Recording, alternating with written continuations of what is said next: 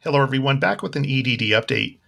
As we continue to make our way through the week, the ongoing issues for claimants remains, and they include those still waiting on phone interviews with the EDD, pending payments still needing to be pushed through to paid, claimants still needing to be transferred over to new claims under the DNCP, claims that still need backdating, and those waiting on appeals hearings to take place due to a disqualification on a claim. Meanwhile, one of the major issues that remains is for claimants who were previously awarded a new claim at the end of their benefit year who are now discovering that their new claim is actually invalid due to a section of the unemployment code which had not been disclosed in any statement made by the EDD in regards to the subject. Now, we're going to recap on that and also why it looks like the EDD erred on a number of those claims.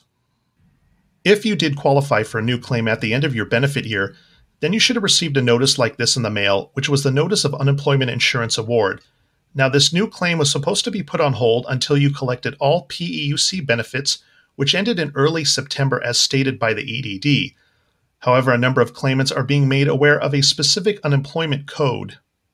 Now, that specific unemployment code, also referred to as the lag period, refers to a section of the code that states a claimant cannot establish claims in back to back years without having worked again following the start of their first claim. Now, this is where the DNCP comes into play. When the DNCP was created back in 2010, one of the criteria was a claimant would be kept on a federal extension if their new claim had a weekly benefit amount that was at least $100 or 25% less than their federal extension. However, there are many claimants whose new claim was between 20 to $80 less than their PEUC extension that were kept on PEUC anyways. This appears to be another problem, and those claimants should have been moved over to a new UI claim.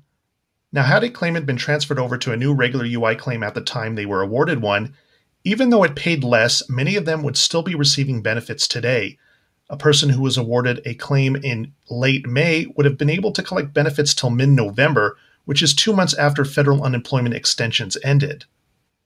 Now, if you're unsure if you actually will be receiving that new claim under the DNCP, you may want to log into your UI Online account and click on the File a New Claim button as seen here, even though you had filed a new claim previously. If you're seeing this message that you did not earn enough wages to establish a new claim, then this may be the indicator your new claim is now invalid. In the meantime, we will continue to monitor the situation and we'll wait to see if the EDD decides to make any announcement on this issue, which clearly is impacting many claimants. Make sure to click on the subscribe button below for future updates on this channel, and thanks for watching.